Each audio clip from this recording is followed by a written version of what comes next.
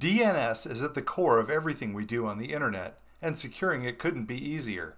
DNSFilter can help you protect your online experience. Start by creating your DNSFilter account and your first policy. Policies determine what kind of content, like adult sites or objectionable content, you want to exclude from your user's online experience. Once that's been created, select the threat categories. We suggest all of them. Now that we know what to block, let's install a roaming client to protect an endpoint. We'll start by creating a site or network, and then we'll download and install the roaming client with its unique key. DNSFilter offers three different deployment methods, but the roaming client is easiest to install and the most granular with regard to reporting.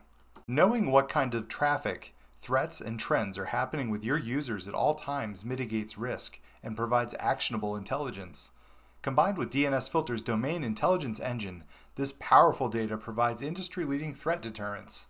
We're more than happy to schedule time to dive deeper on this and show you how. For the ultimate in granularity in providing the clearest picture of how DNS plays into a larger security posture, we have a comprehensive DNS query log that can be exported into your SIEM solution.